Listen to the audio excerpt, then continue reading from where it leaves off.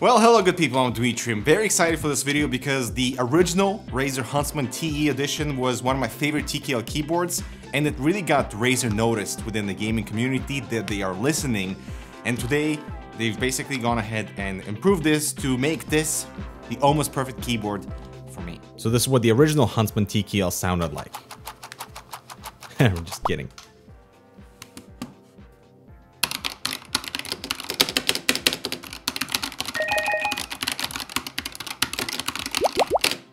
And this is how the new Razer Huntsman V2 TKL sounds like.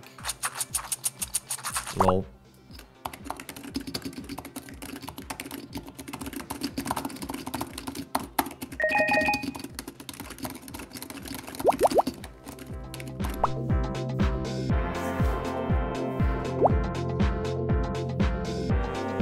Right off the bat, they sound very similar to what you can expect to find on the Huntsman Mini with the Gen 2 linear switches. That's exactly what's been ported over uh, into the Huntsman V2 TKL.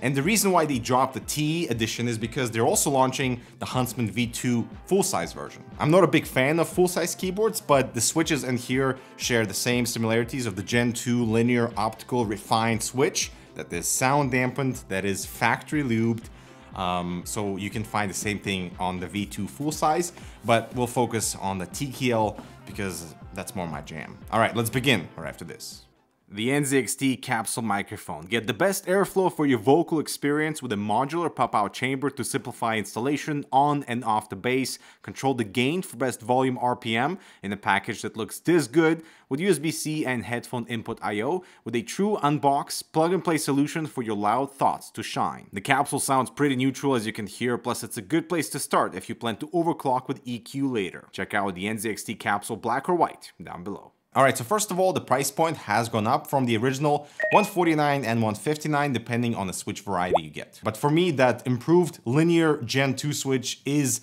the money here. 159 it's kind of expensive, but you won't regret it. The keyboard now comes with a wrist rest, which is a good value add, but unfortunately, I don't like these uh, wrist rests. They're too soft, my hands sink in, they make my hands sweat. So it's a big no for me. I prefer to use the hard ones like from Glorious. But in terms of the physical characteristics, the keyboards are basically identical. So removable USB-C cable with dual step angle adjustment that have been refined, but still on my sample, one of them is a bit more loose than the other. So it collapses more often if I move the keyboard on my mouse mat. I had the same issue with the original TE and also the prototype V2 TKL that I've been using for a couple months. The good thing is though, they've beefed up the frame so it has a lot more weight to it, so it doesn't just slide around like this plastic little toy like the original did.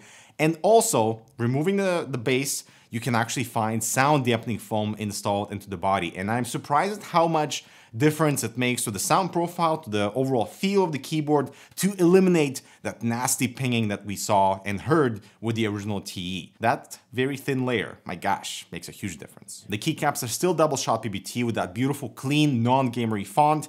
Uh, I do prefer Razer's texture with PBT. It's slightly more coarse. It gives me a little bit more grip. And the keycaps are now pitch black, just like the rest of the board, instead of being more gray like we saw with the original TE. Unfortunately, my keycap set arrived a bit imperfect. As you can see, we have so many unrefined edges on basically all the keycaps. I made sure to check all my other keyboards in the studio that have double shot PBT keycaps, including Razer stuff.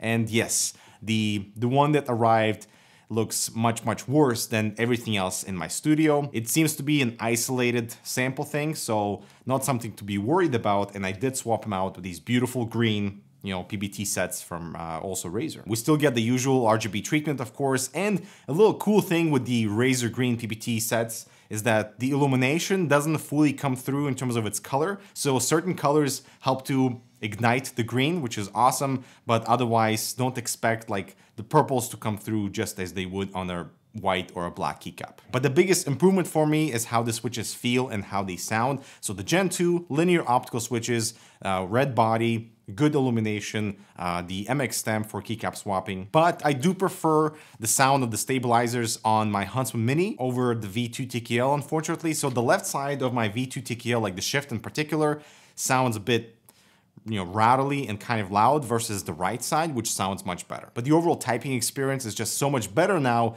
but not exactly to like that really premium very nice lubed stabilizers that we can expect from Vermillo or this new Cherokee keyboard that I received. Take a listen. This is what I'm talking about. The left shift is much worse than the right one. The backspace is also rattly.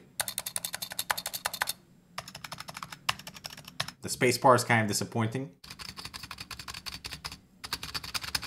It feels scratchy and basically not as smooth as the original TE.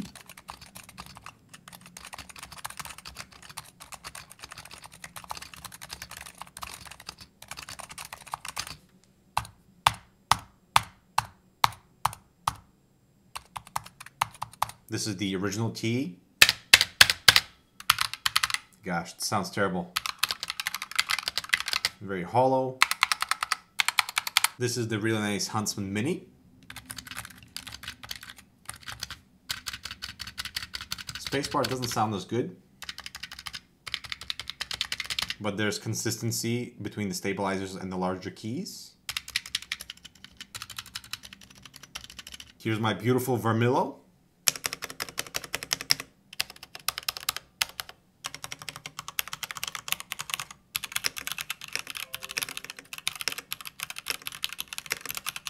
And here's the really awesome Cherokee.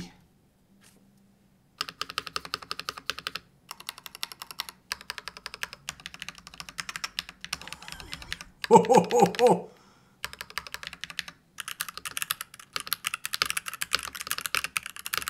So based on the sound sample, what you guys think? And the next big upgrade here would be the 8000 Hertz polling. So this keyboard is capable of it. You select it in the Razer Synapse software. By default, it's running at 1000 Hertz. Honestly, I don't care about 8000 Hertz for keyboards my Wi-Fi connection or any of my hardware on my computer is going to be the culprit of any missed opportunities because of a millisecond, whatever, way long before the keyboard would be, okay? There is a new toggle in the software for key switch optimization. Obviously, this only applies to the purple clicky switch because the red one is optical. It's either on or off. There is no debounce delay there, but for typing or gaming, you can switch between zero debounce delay or some added. And so overall gaming with this keyboard has been absolutely fantastic. The Gen 2 linear switch now is not as light as the original, so that means that my fingers don't accidentally depress the keys, you know, like the shift key, but they're still light enough for fast movements and I do prefer the softness when you bottom out and especially that sound dampening material inside the frame that helps to just poof,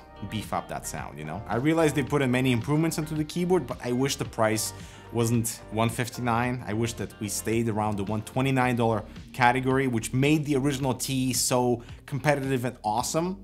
Uh, but let me know what you guys think of uh, you know the new features on the Huntsman V2 TKL. Thanks so much for watching. Check out this relevant content. Subscribe for more. I'll talk to you